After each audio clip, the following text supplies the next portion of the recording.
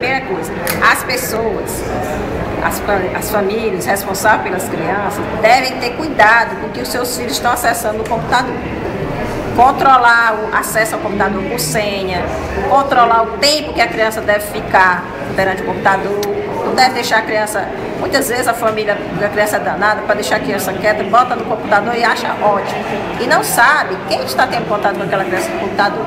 Tem muito cuidado com o Orkut, porque de acordo com o seminário que nós em São Paulo, com a Normal, 80% das crianças brasileiras vítimas de pedofilia é através do Orkut.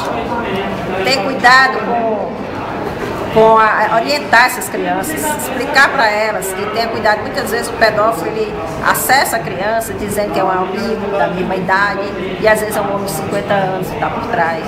E aí bota uma foto da criança e convida, e daqui a pouco ele está marcando encontros.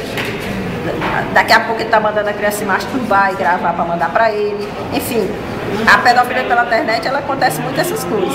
Isso a nível mundial. E é preciso que a família tenha, fique atenta e faça o trabalho de prevenção, converse com seus filhos, porque hoje nós temos uma vida muito agitada e as pessoas conversam muito pouco com os filhos, né? Isso mesmo.